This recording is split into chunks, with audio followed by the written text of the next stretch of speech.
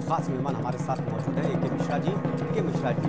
जिस तरह से केंद्र सरकार का रवैया रहा, पूरे ऑपरेशन को लेकर, वहाँ की सुरक्षा को लेकर, अगर यहाँ पर दूसरी कोई पार्टी होती, अगर यूपीए मान लिया अगर होती, और विपक्ष में अगर बीजेपी होती तो फिर बहुत तगड़े तरीके से विरोध करती।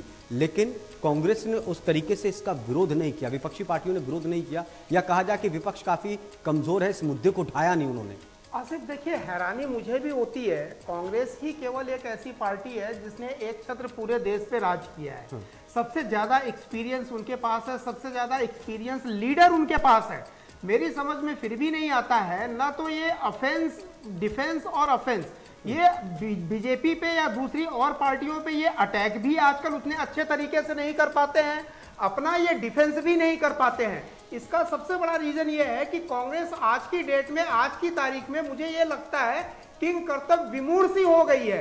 जहाँ वो पहले एक नंबर एक की पार्टी होती थी पक्ष या विपक्ष में ही रहती थी अब उसकी हालत ये हो गई है कि किसी भी तरीके से बीजेपी को रोकने के लिए उसको दूसरी पार्टियों को जो है समर्थन देना पड़ रहा है। छोटी छोटी पार्टियों को।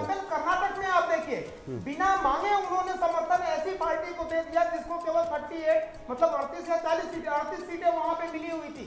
इसी जगह से कमोबेश कहीं न कहीं हर जगह कांग्रेस की स्थिति यही है कि कांग्रेस की स्थिति ऐसे हो गई है जैसे आप कहीं अगर मान लीजिए तराजू पे तोलने वोलने के लिए जाते हैं ना, जो मेन बाट होता है, उसके साथ जो वो छोटे छोटे बाट रखे जाते हैं सौ ग्राम, पचास ग्राम के, जो कि बैलेंसिंग करने के लिए होते हैं